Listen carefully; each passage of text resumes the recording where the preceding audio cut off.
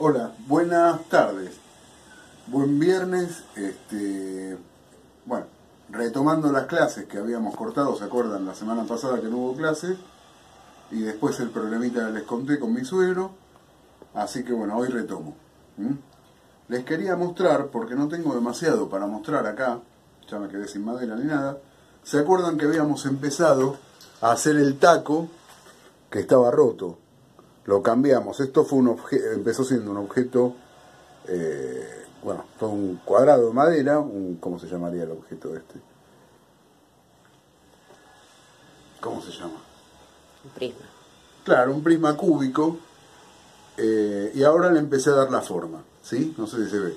De a poquito lo voy llevando.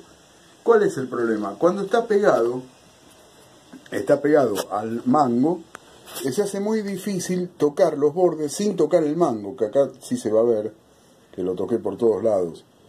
Eh, con las herramientas con las que uno cuenta, eh, se puede ir llevando, pero eh, se hace medio peligroso, se va a tocar al final. Entonces, para empezar a dar la forma, empecé con la escofina. No sé si recordarán, la escofina es una lima muy gruesa que se usa para madera. Entonces, con eso se empieza a dar la forma, con la parte curva, tiene una parte plana, una parte curva, se empieza a dar la forma curva esta. Una vez que ya la arrimamos a lo que más o menos queremos, todavía no está lo que yo quiero.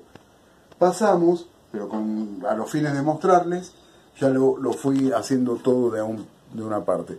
Pasamos a una lima, lo mismo, redonda. Esto es lima, esto es para metal, pero sirve para madera también porque es gruesa. Una vez que ya está es, ah, una vez que ya pasamos la lima, con algo redondo también, que es este cilindro que me hice yo.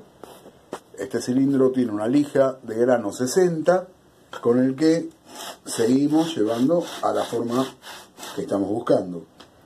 Y una vez que ya esté hecho todo eso, pasamos esta herramientita que se llama torno, mini torno, esta de marca Dremel, eh, y con